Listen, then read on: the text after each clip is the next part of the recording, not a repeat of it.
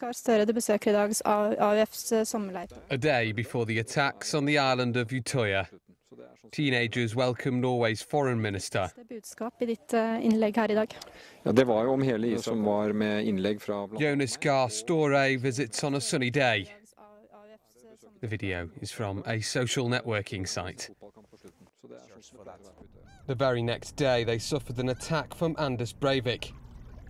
They were trapped on the island for an hour before the SWAT team arrived.